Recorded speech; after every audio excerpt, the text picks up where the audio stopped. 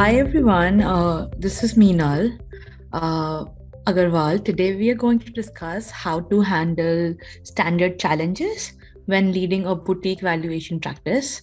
Hope this presentation is helpful to each one of you.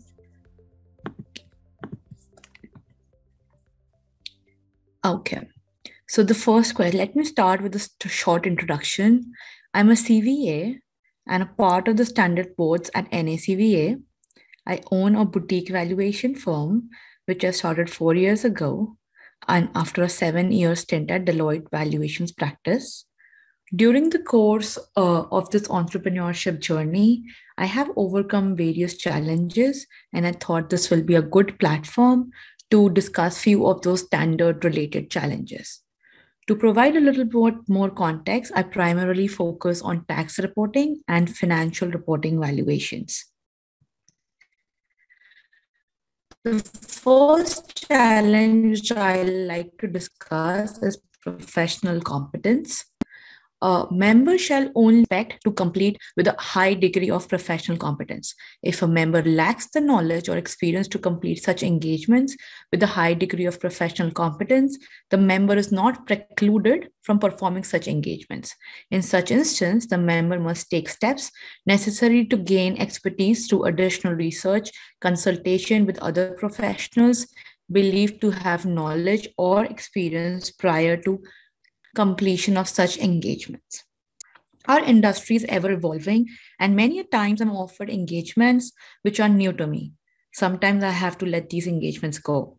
But I like to suggest a few tips which help me in dealing with these new kind of engagements.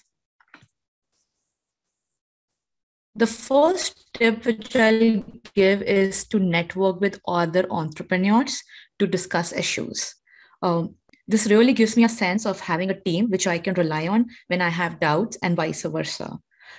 My team, like I have few professionals which are always on my dial. And if I get a new project, I'll always make sure to quickly check in with them if they have done something similar. If they have, it gives me confidence that if there's a new engagement which I've not done before, at least I can reach out to these people and, you know, kind of discuss on the way if I am on the right track.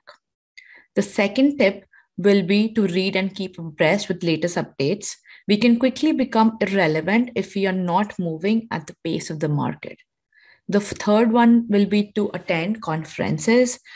This, these conferences help us in both of the two points above in networking and keep abreast with latest changes. The fourth one will be to network with real estate and tangible property valuation practitioners in our role, sometimes we are required to do purchase price allocation. And if the industry is asset heavy, sometimes the client might expect us to collaborate or to at least refer some people from the real estate and tangible property valuations. And given it's a boutique valuation, it's always beneficial to have few contacts in these practices so that you know, we can offer client um, more options to choose from. Next one will be to disclose to the client when expertise is not available at the start of the engagement. More often than not, if the topic is new, limited number of experts are available in the market.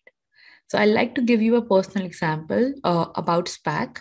When SPACs were new into the market, I was approached by a known client who wanted me to help them with the SPAC evaluation it was new for everybody in the industry. Of course, there were few people, you know, who kind of started before the others. I was very honest with the client and I told them that, you know, I've not done this before. This will be my first SPAC project.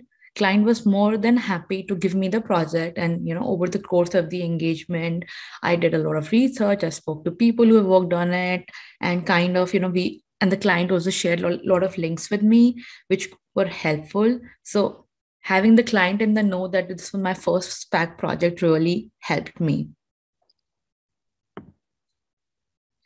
The next point I'll suggest is obviously saying no uh, when you know we can't figure out, and if we feel that this project, if we take this project, we might lose client trust and reputation. I'll recommend to say no if this project is something which we believe we'll not be able to do to the best of our abilities. The next will be also developing some cross border connections.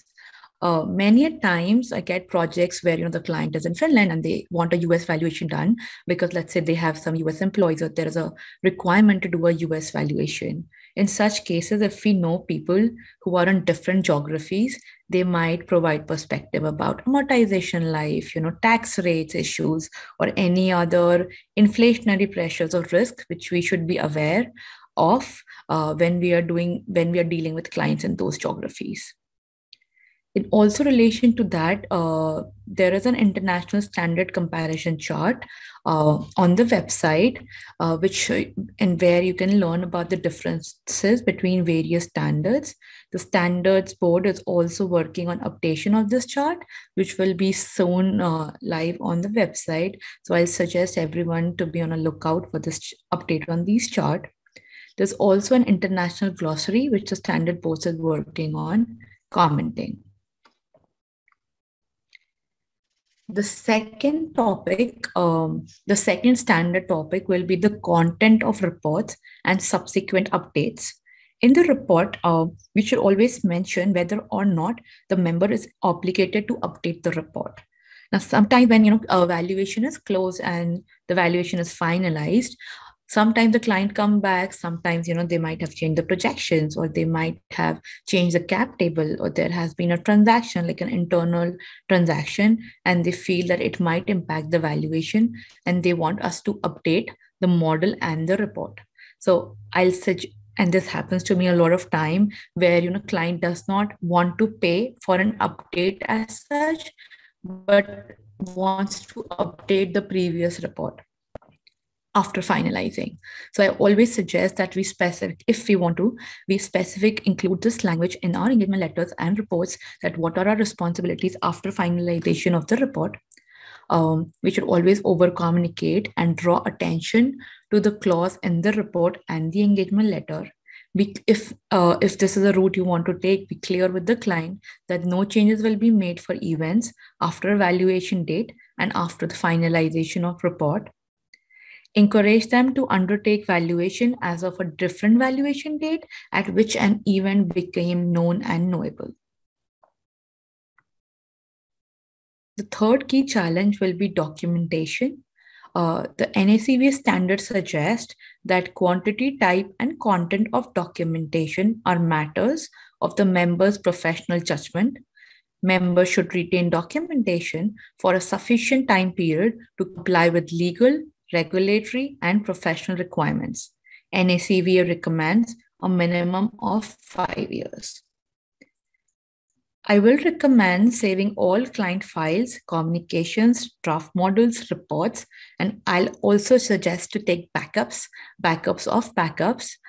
Recommend to save any communications with the client, including emails, messages, online meetings, nowadays with the zoom world a lot of time there are online meetings. So i suggest that we take detailed notes and after every meeting we send client notes uh, and ask them to confirm. Because sometimes it's a point of contention that if we open the model in the report after let's say six months we'll not remember where that assumption came from. Also maintaining clear work papers with clearly named folders.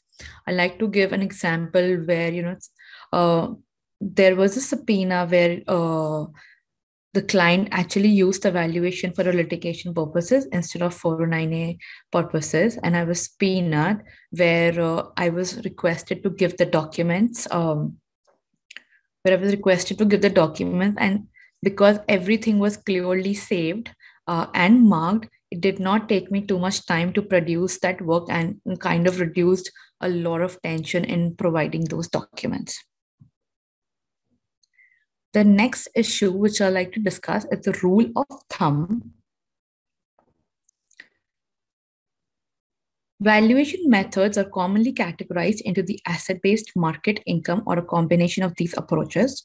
Professional judgment is used to select the approaches and the methods that, that best indicate the value. Rules of thumbs are acceptable as reasonable checks, but should not be used as a stand, stand-alone method uh, I like to draw your attention to this part of the standard. We can't use experience to do the valuation of our subject company. I many times hear a rule of thumb about, for example, common shares being a certain percentage of preferred shares. I always like to draw client attention towards volatility in the industry, exit terms, stage of the company, liquidation preference, participation rights, and other key factors which needs to be kept in mind rather than a rule of thumb. As an another example, at times, client has been on a board of another firm and expect us to use a percentage DLOM, which has been used by another valuer on another company. Again, I always emphasize how there is no rule of thumb. In this particular case, I have found justifying using Mandelbaum factors as a helpful tool. Now, what is a rule of thumb like i always tell clients that there is no rule of thumb and there none exists and it depends all the companies are different these are some additional sources. You can go on this link to find additional sources. Final words in the end i'll recommend continuous upskilling documentation and communication as a key to reduce challenges. Thank you